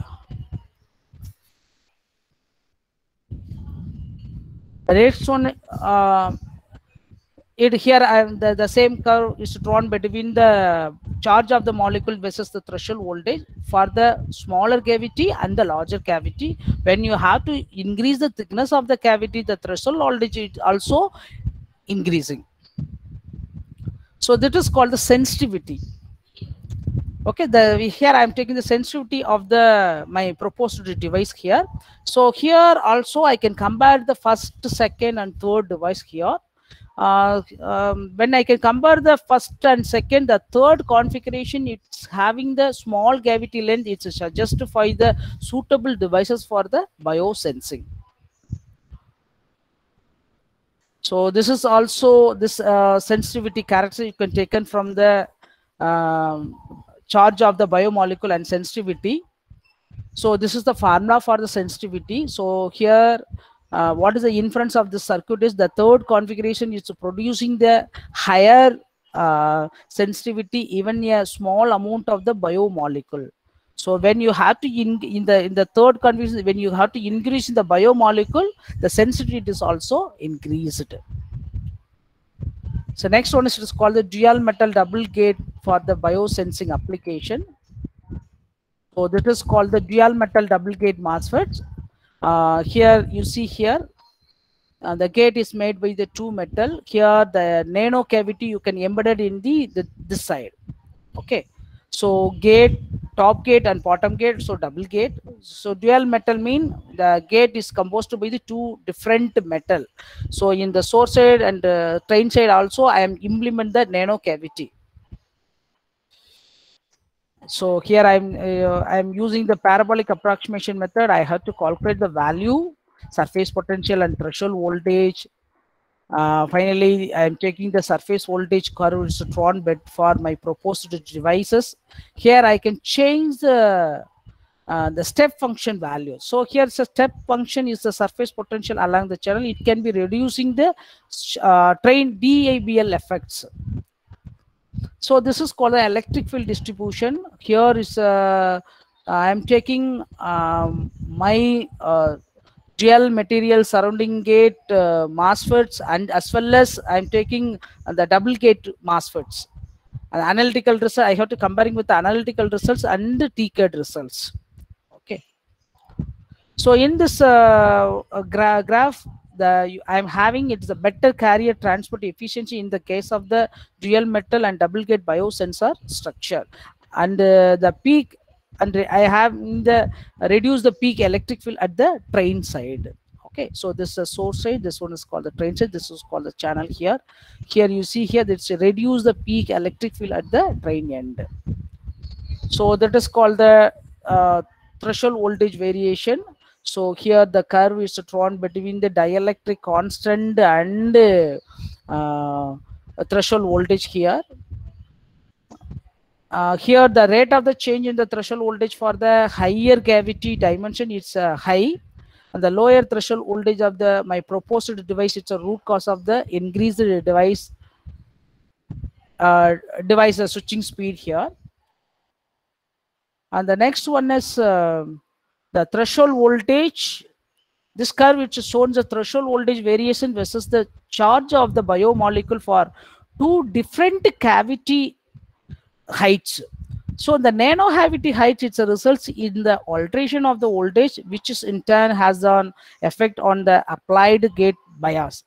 This variation it depends upon the polarity of the charged biomolecule. In double gate and uh, dual metal the structure the cavity is formed near both the source and drain because of the uh, dissimilarity of the gate the gate structure have the three different region whereas the dual metal double gate structure have the four region. Although have the threshold voltage role in the dual metal surrounding gate it's lower than of the dual metal scale. So this is due to the reduce the potential coupling ratio as the nano cavity is uh, decreasing the parasitic capacitance between the source drain and the substrate. As a consequence, a dual material biosensor are higher immunity to the short channel effect. So the current drivability of the biosensor devices with the dual material structure will be increased. The next one is the sensitivity curve um, so these are the journals uh, we published.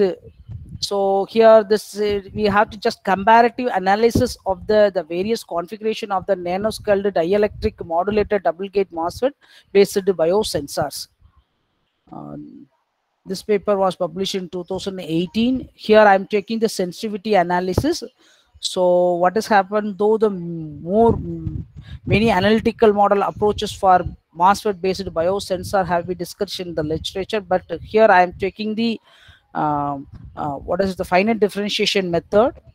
We have to using and we have to compare the fire sensitivity analysis of this double gate uh, double gate metal oxide semiconductor field effects for the biosensing application. Here we are taking the 2D analytical modeling and simulation of the dual gate, double gate MOSFET for the biosensing application.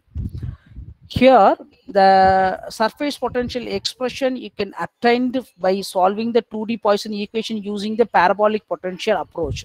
Here, the threshold voltage is the dimension from the minimum surface potential model and sensitivity is just computed. It's a terms of the relatively change in the threshold voltage and it is uh, derived using this model.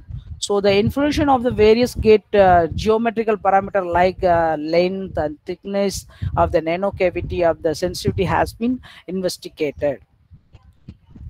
Okay. So this is a, some example of the MOSFET biosensor. So here we are using the this uh, the bio MOSFET biosensor are can using for the detects the HCC protein in the urine and glucose monitoring devices and pulse oximeter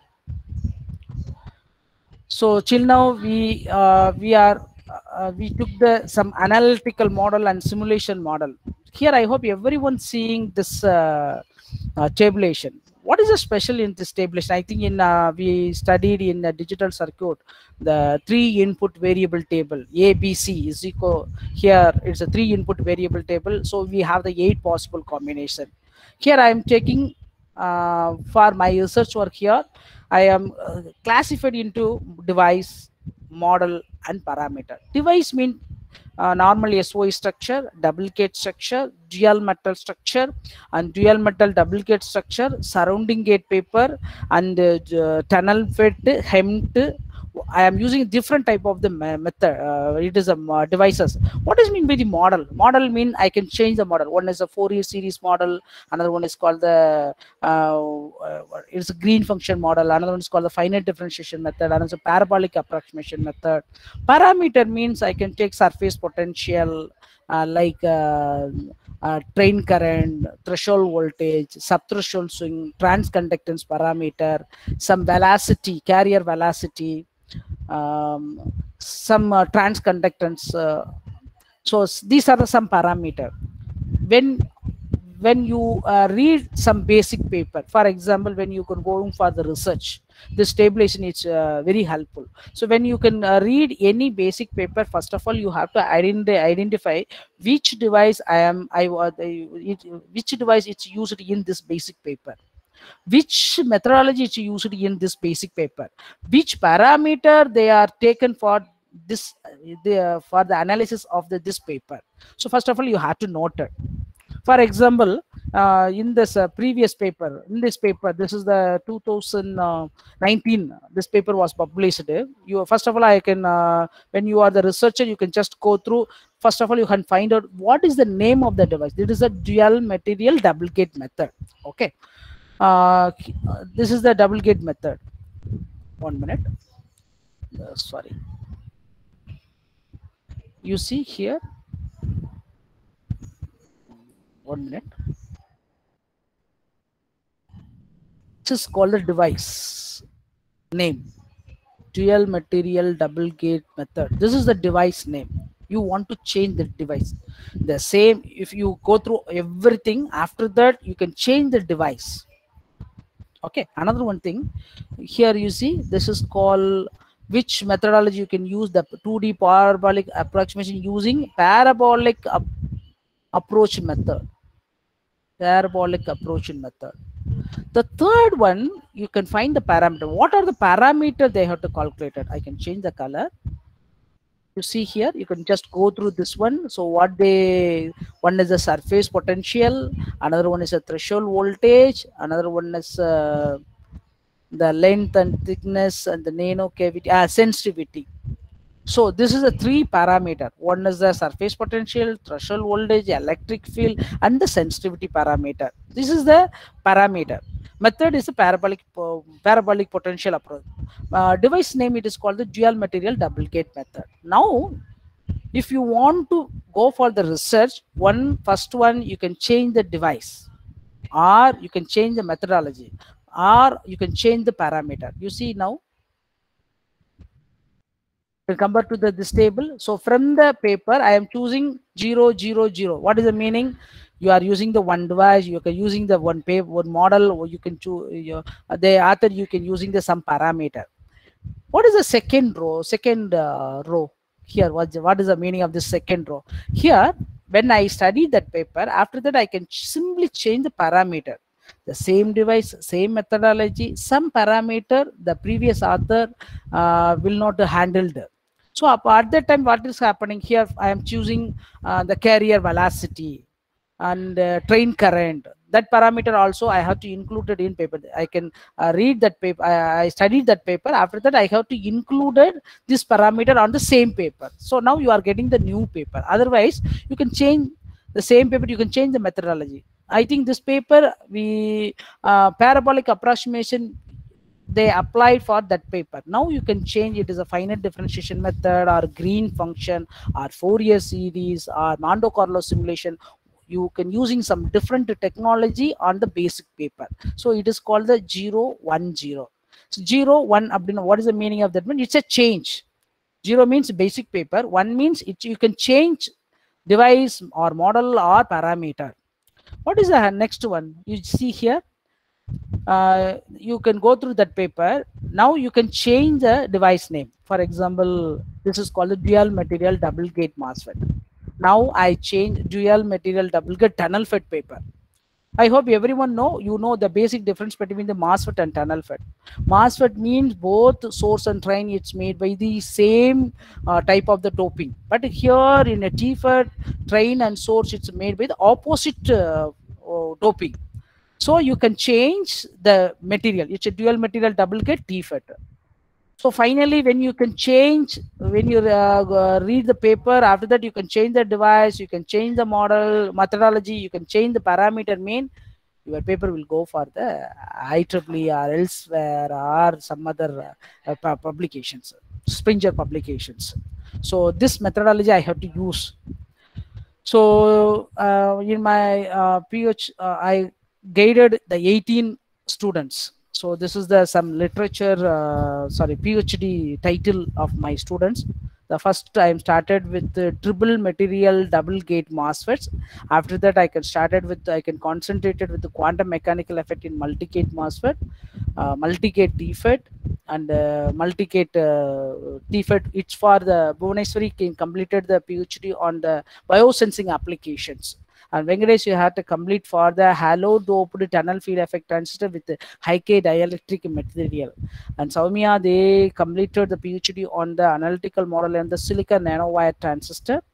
Dr. Venish he completed the multi-gate MOSFETs. Dr. Darshana he completed the dual material surrounding gate tunnel FET with stacked gate oxide. So and Manihandan they took the device name. It is called the junctionless transistor and Karthikeya Pandian uh, took the device name. It is called the silicon nanowire transistor. Sila, he took the device name. It is called a single electron uh, transistor. And Theodore Chandra, uh, he uh, he uh, proposed the device name. It's a HEMT. Uh, Dr. Saraswati, he proposed the device name. It is a triple material gate all around silicon nanowire TFET and Lakshmi Priya, it is a dual material surrounding gate TFET with the gate stacked oxide similarly we had to complete the 18 phd so don't believe a textbook statement blindly. You can go through everything but don't believe. So you never give up. No one knows the future. There would be a solution. So you can wait. So you have to think think and think or you can wait for some time. Someone will think for you. Okay? So so finally i will conclude this session. So in this my presentation i started from the what is the vlsi what is the uh, evaluation of the vlsi what are the uh, who are the invent who are who are the inventor of the the some basic uh, electronic devices?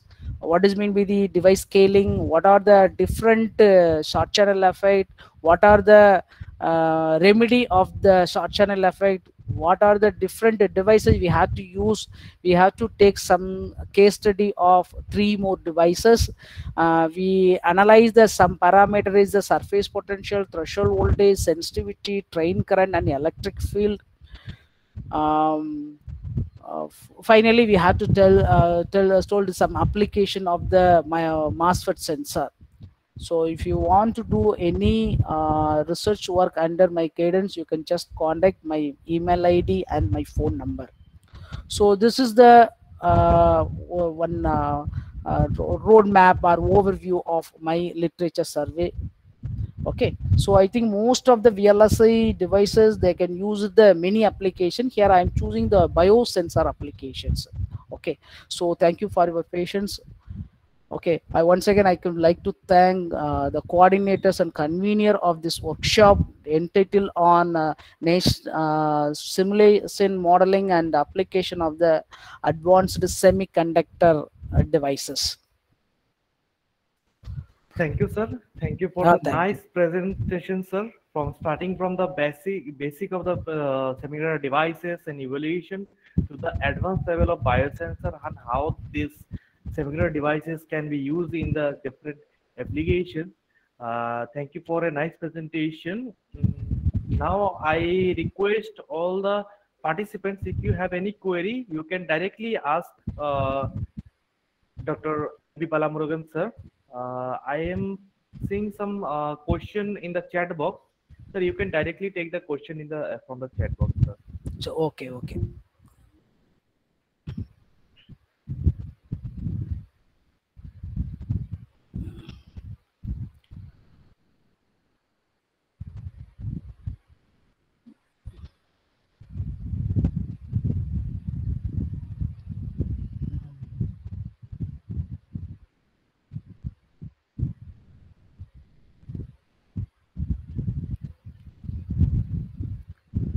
yeah i started the I, I, Amit Bhattacharya questions. First of all, the question is: Have you considered the fully filled the cavity or partially filled the filled the cavity? So I am checking it's uh, partially filled. Next one, yes. Uh, is it necessary to calibrate the any proposed simulation work with the practical structure? Uh, in my device, I uh, gone through. Um, yes, my, my proposed work, I have the simulation. And sensitivity is related to the subthreshold or super threshold. Uh, yes, I have the formula. I hope you see the formula. That formula, it will be related with the sensitivity and the threshold voltage. And um, and uh, can you please summarize the problem when we are facing the TFET? It's stopping us to use them in the devices. I think um, first of all, you can take the literature survey. I think uh, you have to start it with the first paper of the TFET and up to 2021 uh, all electron devices literature or some elsewhere or some Springer Springer. So first you have to take the liter- literature survey. It is the first step to find the solution of the PhD problems. I think when you can choosing the correct problem in you 50 percentage of the PhD problem is over. Normally most of the present uh, uh, guide they will give the directly they can give the problem. So you can make the literature survey. After that, you can uh, having the literature survey on the the parallel device. Maybe it is called like the HEMT and silicon nanowire. So what are the problem they uh, author the addresses on the HEMT and uh, uh, what is the silicon nanowire that problem that other that that problem you have to take you have to note down that you have to apply for your default structure okay. Uh, similar type of the methodology we had to use for my research uh, stu- students. So uh, we are giving the idea to that students. So first of all the literature survey they have to take the three months. They have to refer the 500 papers. After that they will find the exact solution. For if you find the one problem you, you- the first if you got the first idea mean after that we have to develop the second idea and third idea. We are only concentrated on first you have to choose the device I already I can mention that one tabular column. That tabular column first I can choose a device. So what are the uh, problem? The already the authors I think the paper author they can address it. So you have to finalize everything. After that we have to take that problem and that that, that problem you have to implement it in our proposed device. Before that we have to check anyone have any any author any pub- any publisher they already the, then the one we have to check after that we can change the methodology or we can change the parameter or we have to change the application we have to do with this okay uh, Amit Patachari, I will explain now. I think this is a good uh, good question. I will explain in uh, when you have to um, mail to me. I will explain. Okay, it will take some more time. I will explain. Okay, thank you, sir. Next, uh, my uh, Mirigandra Singh, I think, uh, have some questions. Sir, can you please summarize the problem we are facing with TFETs, which is stopping us to use them in devices? I think um, uh, in our college we are not having the fab facility. I think we are very strong with uh, mathematical. So we are go first we can go for the analytical model. After that I have to parallelly I have to check when I am choosing one device. Uh, uh, some author maybe foreign uh, examiner some num, our iit professor most of the iit professor they can choose the same device they can did some liter- some simulation model already they done so we have to comparing with our analytical model with the simulation result. So like most of the journals they they recommend they they want to uh, get some fab results so that time uh, we can go for some foreign uh, uh, foreign author we have to refer some foreign author paper. We have to compare our model and uh, simulation model. Simula- we have a simulation facility we have. So our model we simulation work and analytical model we done. We have to compare with some uh, foreign uh, or some IIT professors paper so th- at that time we have some difficulty. I think when we have the some fab facility mean uh, we have to easily we have to do some uh, publish the paper in the journal. So most of the journal they are asked uh, the measurement results or fab results. Maybe they want to really they want to check with your analytical model and uh, fab results model. So that time i has i face i faced a lot of problem but uh, uh, uh, you know i um, in my first paper i, I first i am sent it to the ieee so i have a lot of query on that paper. I am really afraid. After that what has happened? What are the query they can uh, they mentioned that i have to read one by one. I have to refer the book. Uh, after that that query i can solve one by one one. I have the idea. Finally that paper i have to send to the ieee that will paper is selected and after that i can change some idea i will send to uh, some other uh, springer and elsewhere paper that paper also selected. So the literature survey is very very important. If you go more and more research paper you are very go in very deeper in your uh, uh, research work. So when you find the problem it's a 50% phd is over. 50% research is over. After that you can find which device it's uh, presently it's uh, very hot. You can identify that which device it's apply uh, apply in uh, which application? That is also very very important. When you can go for the uh, pattern or when you can go for the project for uh, project when you apply for the uh, project so they ask it's uh, it's a very hot it's a, where it's, it's used. So application and hard device you can choose. It's uh, most of the uh, your proposed work it will be sanctioned so you have to go more literature so i have the difficulty in the fab facility. So at that time we my friend is working in IISc bangalore. I i went to IISc bangalore. Uh, after that i can uh, i get the prior permission from our head of the department and the principal. I can approach the AAC that is nano center. They will give the some simulation result they have had to comparing with. Finally we are got the paper uh, p- what is it the projects so till now i have the uh, uh, three project uh, so five project uh, till now i am trying to apply for the pattern i am trying to apply for the pattern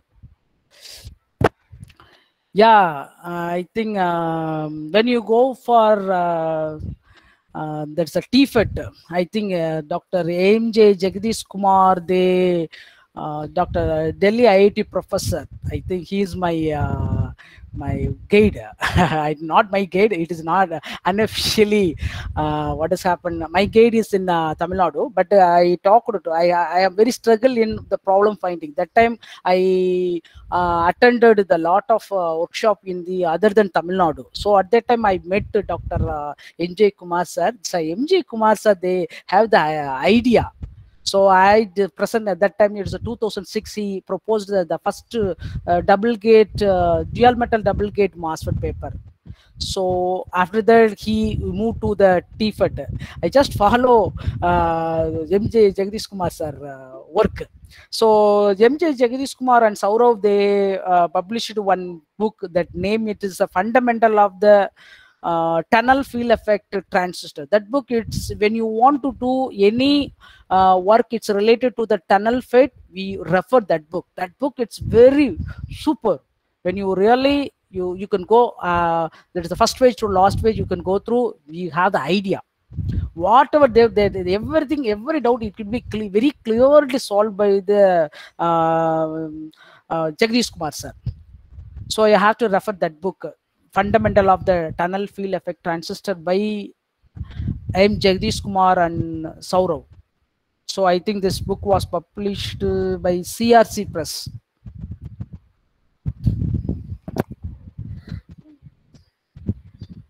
Okay any other Suman? uh, student uh, are participants if you have any other questions uh, you can ask directly. I think one uh, candidate uh, candidate raised his hand? Uh, Syam babu singh. Syam babu singh i think. Uh, if you have any question you can directly ask. You have raised your hand. That's why i am calling you. Syam babu singh. Sir, uh, sir, good morning. Sir, what are the some other books related to the modeling which can be helpful to us in order to understand the concept of modeling? Uh, sir, Ronald Neamen, uh, it's a semiconductor devices book. That book it is also excellent. Uh, another one thing is uh, the MJ, uh, uh, sorry, M. Jagdish Kumar sir uh, published another one book. It's it's related to the tunnel field effect transistor. That book it is also very good. Another one thing, IIT Chennai, Doctor, um, what is I forget the name. Mm, that uh, they they published one book for the semiconductor devices. I hope everyone know that's a treatment book. And another one book, it is a modern VLSI devices by Taur. Uh, that book also, it's very good, sir. Modern VLSI devices by the Taur, T-A-U-R, Taur book. Okay, sir. Okay. Uh, that book also is very good. But anything you have to, you can fix on one device, sir. You have to touch on one, or you find the one device. After that, you can work and study. You sit, uh, eat everything in that book, that device. You have the book. Yes, yes, yes. Ananda Bhattacharya book. That book, sir. Yes, very good, sir. Ananya Bhattacharya, Bhattacharji. Uh, yeah, he mentioned that book, Taur and Ning book. Yes. Normally, when you can go for the research, first of all, you can you are you can thorough in the device operation, device function, device operation, and parameter. I already I Uh, can mention one slide. It's a seven steps. That seven steps. It's uh, go for the PhD work on the analog device modeling. So start with device uh, operation, device principle, uh, choose the suitable the boundaries. After that, you can identify the parameter, extraction the parameter. Finally, you can compare the result. Wherever you can go for the any paper publication or uh, uh, project, um, the comparison is must. So your model is compared with the existing model or your model is validated with its simulation software simulation results. Okay, sir. Uh, another uh, participant raised his hand. Uh, Nalaturir Na- Nagendra Reddy. Sir, good afternoon, sir. Uh, yes, sir. Good afternoon, sir. Good afternoon, sir. Sir, actually, I'm also working on TFET based biosensor, sir. Okay, sir. I have taken the technology like uh, gate overlapped and drain. Okay. So I try to model that one, sir. But whatever the region under the overlapped gate, shall I consider it as a channel or it is a like depletion region, sir? The Uh, region under the overlapped gate, I mean, uh, on the drain side. uh, I think uh, my I am taking it's a source side and uh, drain side and both side. Ah, you have to try, sir. I think uh, recently I gone through one paper. It's a TFET uh, used as a biosensor paper. They uh, they tried on uh, channel. Okay, sir. Oh, okay. That's a good idea, sir. You have to try, sir. First of all, whatever you know that you have to make a paper and you have to send to IEEE or elsewhere, sir. They have the most of the idea they will give you, sir. That review, they give the more idea to you. Okay, sir. Okay, sir. Okay, sir. Okay, okay. Okay, sir. Thank you. Thank you. Sir. Uh, any more students? I think if, you have any questions, I will take uh, one more minute uh, for the question answer session. So if you have any questions, you can ask right now, or you can send in the chat box.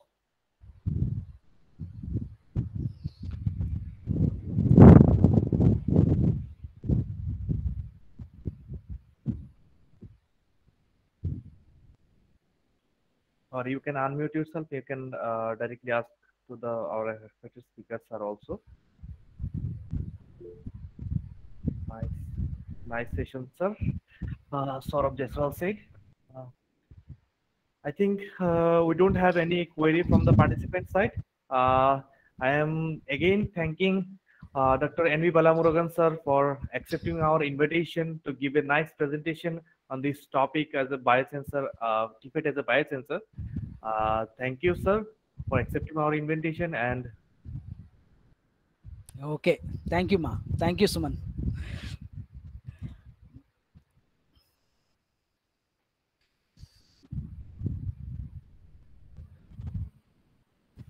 thank you. Okay, ma. Uh, Suman, shall I leave now? Yes, sir. Yes, sir. Okay, okay. Thank you, ma. Thank you. Thank you.